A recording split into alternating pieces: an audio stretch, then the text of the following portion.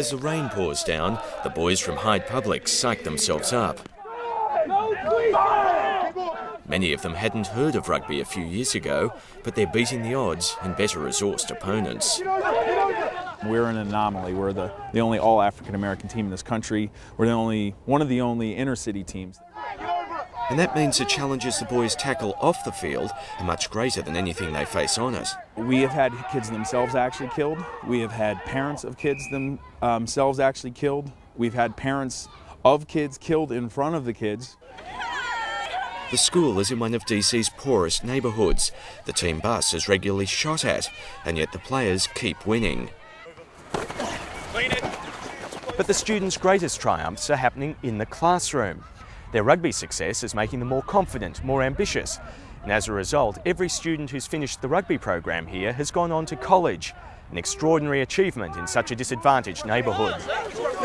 Part of the credit belongs to the New Zealand Embassy. It wants to spread the rugby religion, and its financial support keeps the team afloat. They've shown that they've picked up a lot of the skills that rugby can give people in terms of discipline, uh, leadership, uh, and a feeling of belonging to a team and, uh, and doing something constructive. Travell Blunt's home life is so disrupted he's lived in six houses in seven months. He says rugby has changed his life. The rugby got me out of a lot of trouble, a whole lot of trouble. Engage.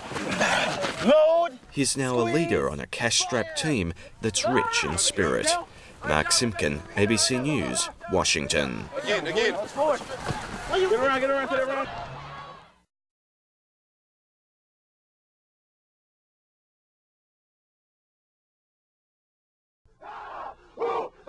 That's not a haka, but this team has been called the real All Blacks.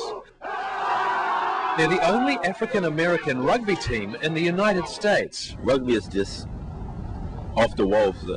No equipment you have, nothing to protect you, you know, and that's basically it. Like some people just like to compare with football, but it's nothing like football at all. I think it's way better than football.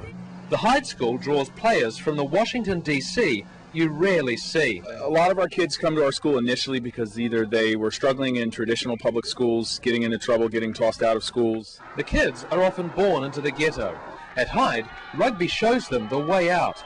Like when you play rugby, uh, it tends to make you work hard on the field, especially if it's like your first time. And then like you seem you seem to get motivated to work harder in other things you do.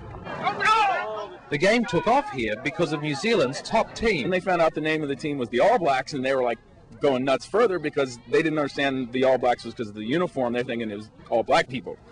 All of the Hyde team will go on to university. For kids from such tough backgrounds, that's unheard of.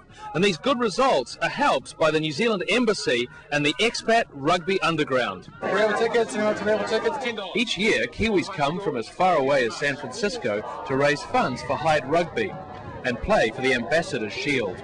With corporate sponsorship, this year's total was over 20,000 New Zealand dollars, more than enough to keep the pride in Hyde. Tim Wilson, One News, Washington, D.C.